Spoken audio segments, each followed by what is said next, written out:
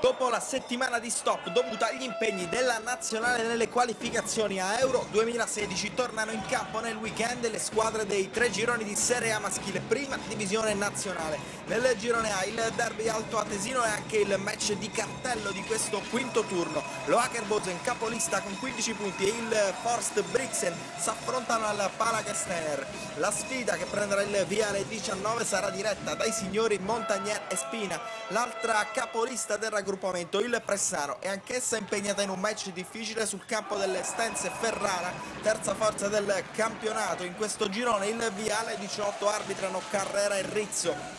Sfida tra due nomi storici dell'handball nazionale, quella tra Solar Plus, Rovereto e Trieste. Il cui fischio di inizio dei signori Zennalli e Riello giungerà alle 18. Stesso orario e direzione affidata alla coppia Iaconello-Iaconello in terra trentina, dove il Metal Cider Mezzocorona cerca la seconda vittoria stagionale contro l'MT Group, che invece di punti ne ha conquistati 3 in 5 gare giocate. Suscita interesse infine la contesa tra Cassano Magnago in data Meran, il cui avvio è fissato fissato per le 20.30 arbitri Bisaccia e Piffanelli.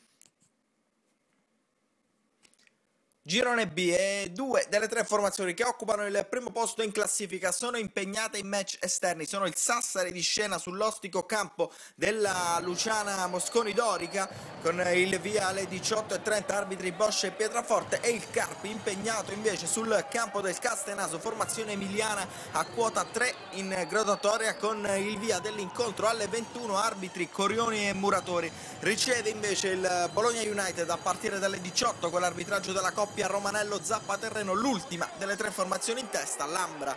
A completare la quinta giornata in calendario le sfide Farmigea Nuova Era Casalgrande si comincia alle 16 dirigono Savarese Bocchieri e Romagna Cingoli con Ceso e compagni che cercheranno di mantenere il terzo posto e dall'altra parte la compagine marchigiana alla ricerca invece del secondo successo in questo campionato. La sfida sarà arbitrata dai signori Colombo e Fabian a partire dalle 18.30.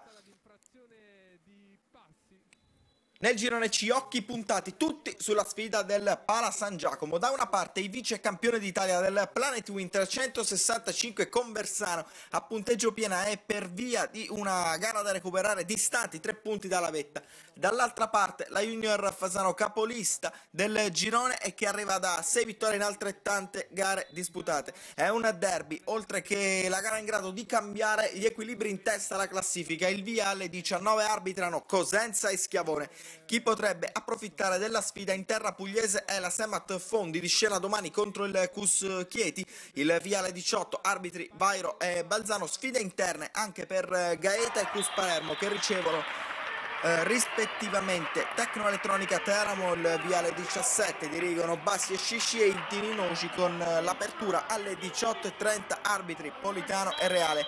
Va a caccia dei primi punti nel suo campionato infine la compagine del Putignano che domani affronta il Città Sant'Angelo dalle 19 e sotto la direzione dei signori Coletta e Pinto.